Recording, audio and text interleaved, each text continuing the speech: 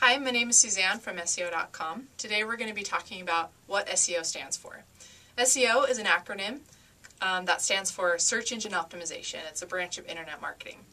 Um, this type of internet marketing, search engine optimization or SEO, um, is a way to improve online visibility through natural or algorithmic search results. Now, the main goal of search engine optimization at first was to improve rankings. More modern best practices, however, uh, focus on ROI, lead generation, and sales.